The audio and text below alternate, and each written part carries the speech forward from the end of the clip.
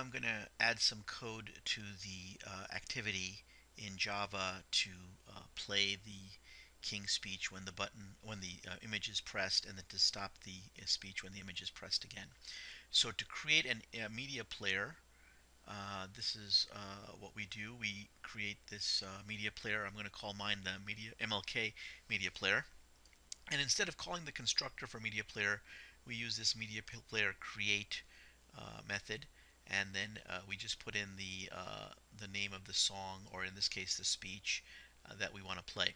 Now, why is this final? It's final because we're going to create an on-click listener for this media player, and inside the inner class, the only way to access variables from the outer class is to have them declared as final. So that's why this is declared final here. I also need to create a uh, variable uh, that's going to represent the uh, image itself. So I'm going to go image view, and I'll call this the uh, MLK image view and uh, as is going to become our custom for almost all of the apps we build we're going to create an initialization method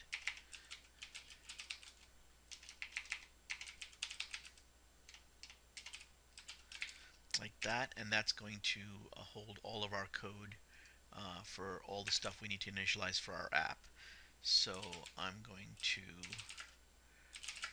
write that method now and it has no parameters. And in here, the first thing I want to do is I want to link the image view on the Java side to the image view on the uh, uh, um, layout side. So image view here. And then I'm going to use this find view by ID method. And this is just going to be r uh, dot me set that up. ID dot here like that MLK IV. So once again, the prefix is on the Java side, the IV prefix and the IV suffix is on the layout side. So I've linked the images and now I just need to build the on-click listener uh, for the image. Okay, I've written the code here to set up the on-click listener. And this is our anonymous inner class structure. And in here now this is the code that's going to execute every time the image gets clicked. So I've added the code now uh, to execute when the image gets clicked. I check to see if the uh, player is already playing. If it is I pause. If it's not playing then I start it up again let's uh, compile and run the code now and see if this uh, app is working as intended uh, when I ran the app, it had one error, a null pointer exception, and I found out that this media player, which I had declared as a public uh, static final uh, out here uh, in the static space, needs to be brought inside the initialize method, and that's okay because it's a, a, final anyway.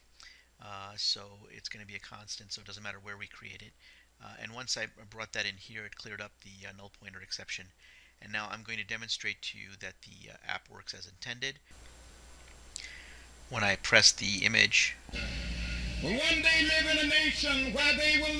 can see that it uh, plays and then I press it again, it pauses, I press it again, it picks up where it left off, and uh, that's basically the whole thing. And let's see if I click it again. Picks up from the beginning again.